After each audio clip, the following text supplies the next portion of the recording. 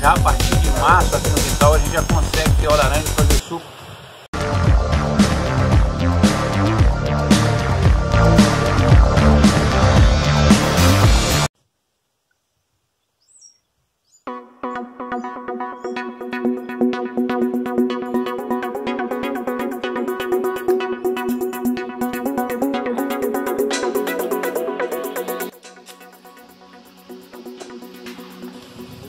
Olá, salve, salve, saúde para vocês. Hoje eu vou falar para vocês essa laranja champanhe. Interessante que essa laranja, essa, eu estou fazendo esse vídeo hoje, dia 4 de março. Já em março essa laranja está verdolenga assim, mas ela já tem um conteúdo de suco muito interessante. Então já a partir de março aqui no quintal a gente já consegue ter a laranja e fazer suco praticamente todo dia que ela, ela é bastante produtiva e a gente tem dois, dois pés dela aqui não dá conta. É uma laranja bastante graúda, olha só. Olha esse caixa aqui, ó. Vou cortar uma para mostrar para vocês.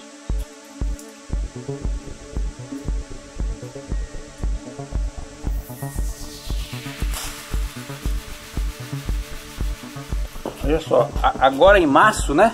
Estamos em março gente já consegue ter uma laranja desse tamanho. Né? Olha só a quantidade de suco, como é que pula suco, ó. a pressão de suco já está aqui dentro. E é uma laranja clara.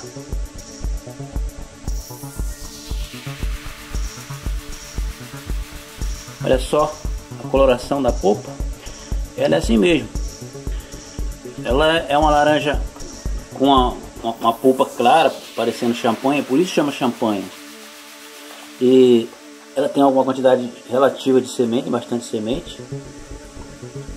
E à medida que ela vai amadurecendo, ela não fica com a cor alaranjada, ela fica com a cor amarelada. Então é um, é um material genético um pouco diferente da laranja, né?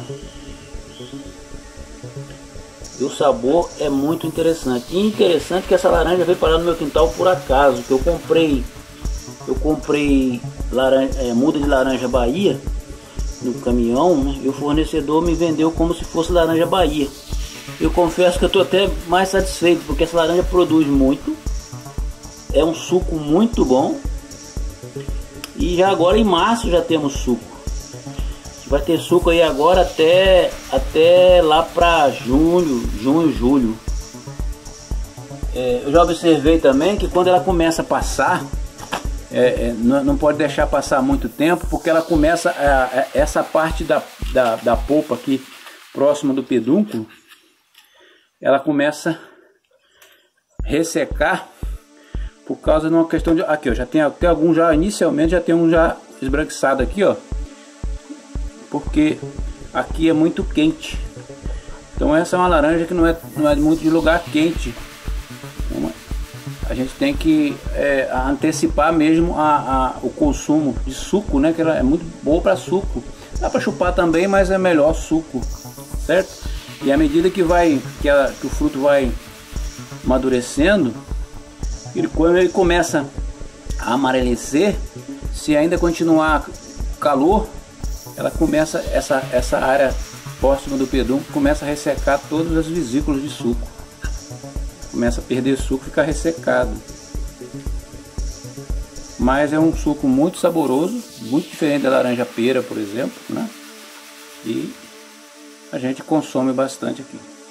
Eu farei na, mais à frente, eu farei um vídeo sobre é, a gente ver o, o, o, rendimento de suco dessa, dessa laranja. Eu pegaria algumas laranjas, pesarei retiraria a polpa para ver o rendimento. É impressionante que à medida que ela vai amadurecendo, essa casca vai ficando mais fina e vai acumulando mais suco, quer dizer, o rendimento da fruta vai cada vez mais aumentando, né? Rendimento de suco. Ok, meus amigos? É uma dica aí para quem quer ter citros no quintal, laranja champanhe ou laranja Madre Teresa. Bom?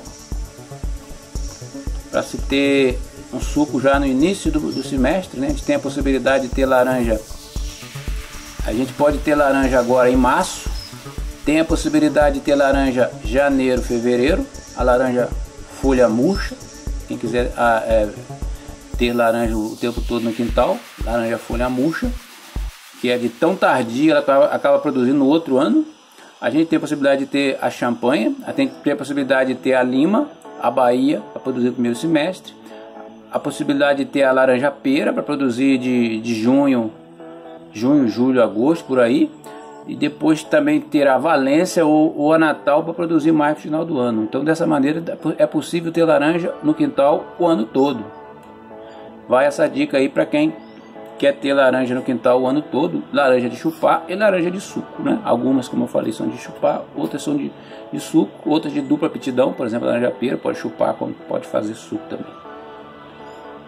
Bom, e, e para quem não viu, também publiquei um vídeo recente da mexerica Rio, que é interessante, porque desde fevereiro já se pode consumir essa mexerica, ela é bem precoce. Ok? pode ter. Então vamos lá, no caso de, de, de, de mexerica ou tangerina, você pode ter a mexerica rio, você pode ter a, a mexerica normal e a, e a poncã, para produzir um pouquinho. Ma, ma, abril, maio, junho, né? Na região mais quente, chegando até agosto, na região mais fria. E pode também adquirir mudas de murcote, que é um híbrido que é vendido como que é identificado também como tangerina, que vai produzir depois de setembro, outubro. Então a possibilidade também de você ter ao longo do ano uma quantidade de, de tangerina no, no quintal também, tá bom? Era isso que eu tinha a falar para vocês. Um forte abraço e até a próxima.